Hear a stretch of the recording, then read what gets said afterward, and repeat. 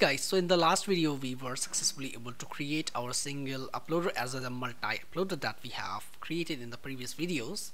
So now I'm going to create a third uploader component that was a drop zone.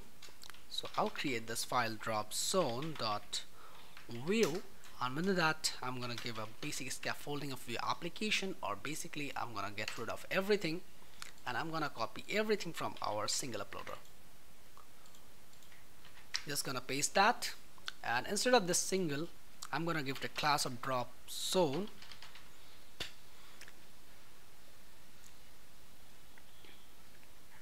so this is our drop zone. And now if I save it there's nothing fancy happening here. And I also want to copy from this here to paste it down. And instead of this multi uploader let's simply say drop zone uploader. I'm gonna copy and put it inside drop zone.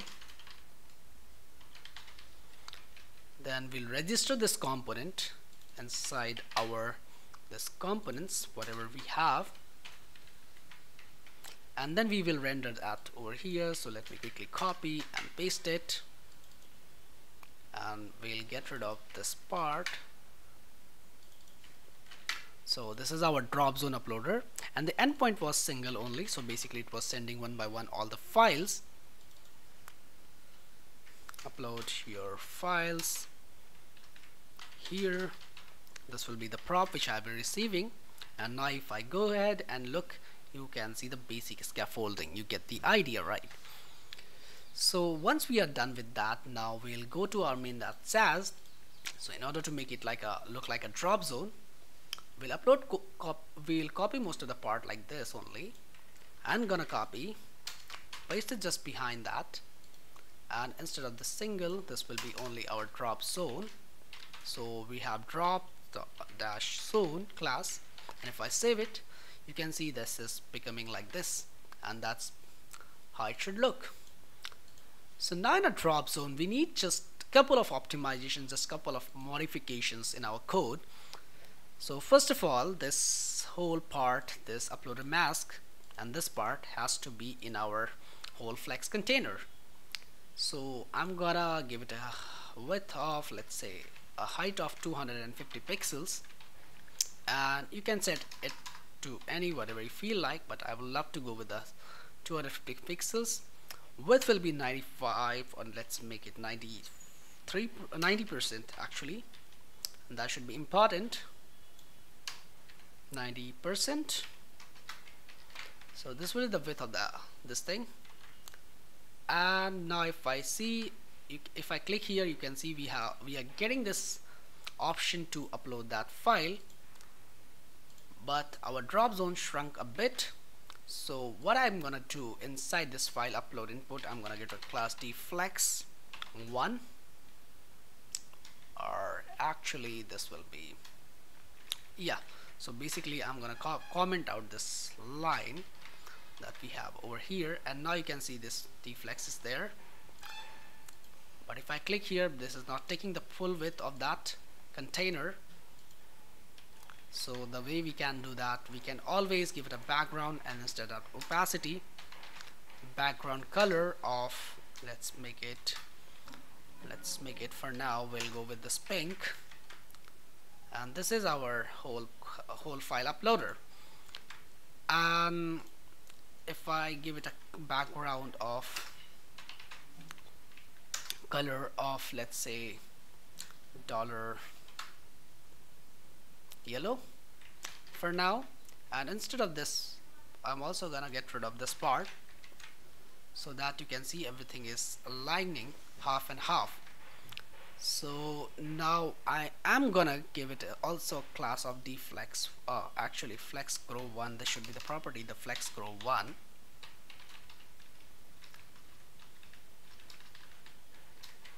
now let me save it. Now you can see this is taking the full width. And in this also I'm gonna give the same property. So now this is just half and half. This is dividing each other.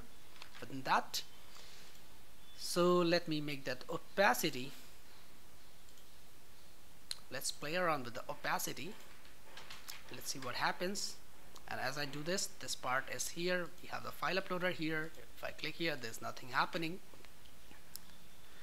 And now what we do is instead of having this inside that part we'll give it a class of d-flex again save it. Now you can see this is taking the whole width. Let me quickly get rid of that check that. So we just have to play around with these values and how it overlaps to each other that we have to define okay so this is happening this way. Uh, and this uploaded images will be our array and we'll uploading our array basically. And to whatever we have already inside our uploaded images let me quickly save that and even in our IMG I'm also gonna get rid of that part. And this will bring it from our this multi-uploader component that we have here. So I'm gonna copy this paste it just down at the bottom. So uploaded imgs in the uploaded imgs and this uploaded imgs will be this. So only like if you're clear with the basics how we can upload the file we can do all sort of stuff. We have upload progress we have it is uploading true set it to and now you can upload images is not defined. If I reload that's that has been already fixed. And now we have to uh, one more thing I want to give just behind this part that's uh, align item center flex column. And within that I'm also gonna give a p with a class of text muted. Muted. Font size sm upload your files here. If I save it this will be just fine and now if I click on this now we have to overlap this part. Uh, one more thing quick thing which I want to get rid of is uploading. So instead of this I'm gonna get rid from here and just paste over this part. So I'm gonna give it a class of the flex. And within that flex I'm gonna put my uploader. And for noise uploading. I'm gonna set it to true just to see how it looks on the UI so for that upload progress let's make it 50 set it to true? We're not going to handle with our files. And now that looks fine but we need some kind of a margin from the top. So we'll simply say mt 2 and this is uploading from here. I'm gonna cut this I'm gonna paste it over here. So that whole div is up visible and that looks quite nice. It has a 50% of the progress. Oh let me make it 3 padding. Okay so this looks nice actually I would say. And here we'll be having the list of the images that will be rendered just at the bottom. So this will be our list. Uh, one more quick part image.data path whatever we are getting we'll send them. We'll receive one by one file and then we'll put this value to null. We'll set that value. Once we are done uploading dot value because basically we are clearing it up. At the end once we are done with uploading our files and upload single file with our drop zone. Now we have to look how we can overlap these things together. So in our drop zone component let's see what we can do. D-flex then we don't need to give it a class of d-flex again. So it is working. Now we have to overlap these two together so one way around is basically let me remove this flex grow from there. Let's see what happens. I save it now these are taking two container spaces. And also let me give it a position of absolute. If I save it now this whole part is visible. If I give it an opacity of 0 now this is our uploader drop zone and this is our file. So now what I'm gonna do is let's increase it to 95% let's see where, where it goes. Actually let's make it 100% so it is taking whole container area. If I click this is not working. If I click here it's not working. If I click here not working. So we need to shrink that size just a bit so instead of this let me get rid of this opacity and the, the color solid colors that we have defined. Let's see how it looks. So this is our file upload and this is our whole our mask. So everything is setting properly only this part is so let's make it 99% the space. And now they are overlapping each other perfectly. So I'm gonna get rid of that cut this out too I'm gonna remove the uh, put the opacity back and now you can see that we have our drop zone uploader. So if I click go to my desktop I'm gonna upload this file and now we can see we are getting infinite loop. So our page has broken. That means we made some kind of mistake inside that.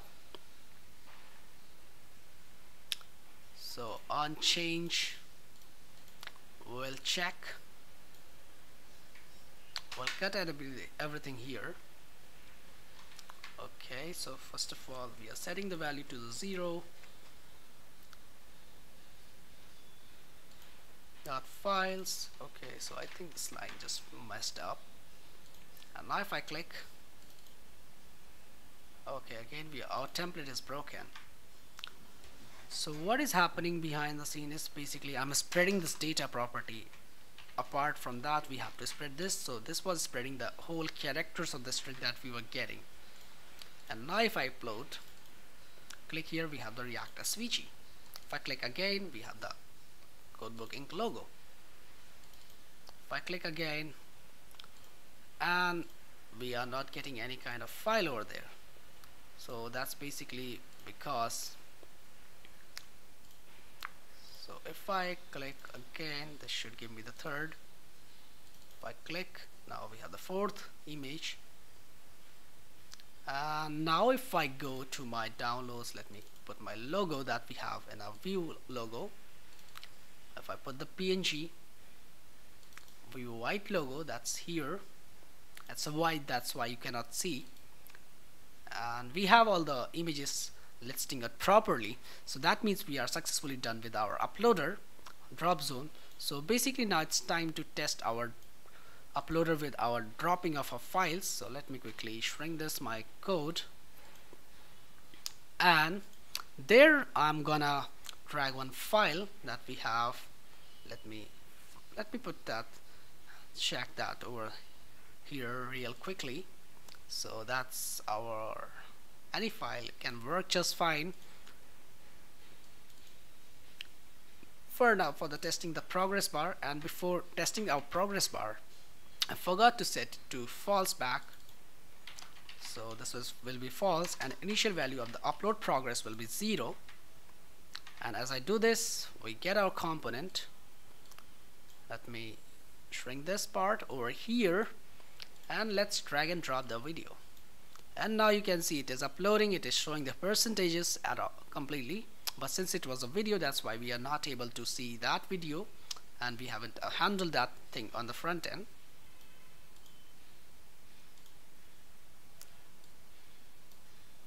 And the sphere I reload that.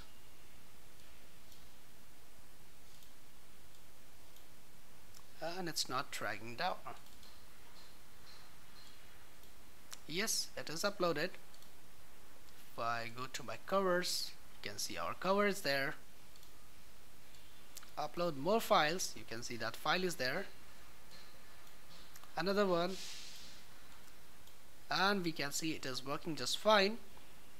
And that's basically it about the video and it's done so hope you guys enjoyed the series and we did a lot of Sass inside. We have integrated bootstrap vue bootstrap also. We looked through the some of the components of the vue bootstrap. We also uh, looked how we can structure our modular code pattern that we have defining our Axios instance and even the constants here.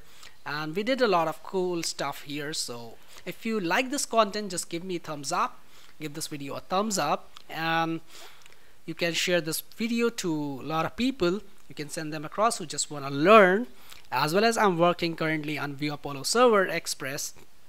So I'm getting some issues while on the front end side where to listen for the listen for the this upload event progress. So if anyone know anything about that just let me know in the comments because I read through the documentation but I couldn't find it anywhere so if you have any suggestions for that just please let me know in the comments below. And thank you guys